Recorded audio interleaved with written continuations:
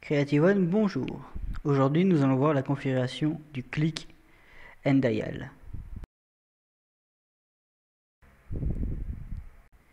Une fois dans Outlook, sélectionnez Contact.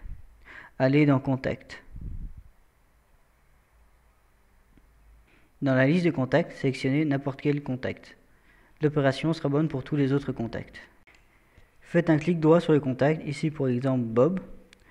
Un menu déroulant apparaît, sélectionnez Appeler le contact.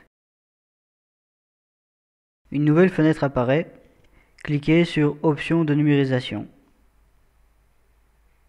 De là, cliquez sur Propriétés de la numérisation.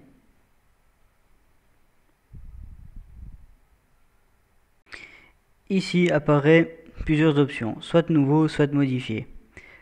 Dans notre cas, nous n'aurons qu'à faire modifier, mais il est fort possible que vous ayez à créer un nouveau site d'appel.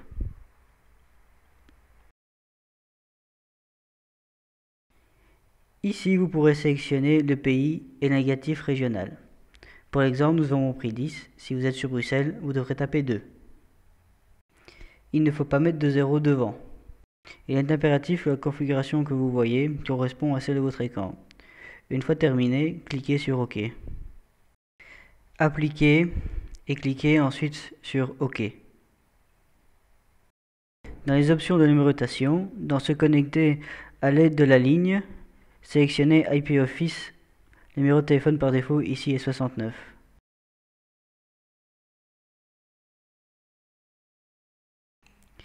Cliquez sur OK une fois terminé. Nous allons maintenant effectuer un click and dial. Cliquez sur Débuter l'appel.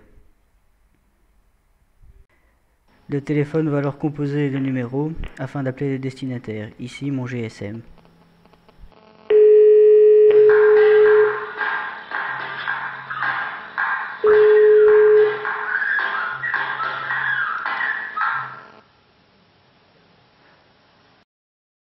Vous pouvez prématurément terminer l'appel en cliquant sur Fin de l'appel.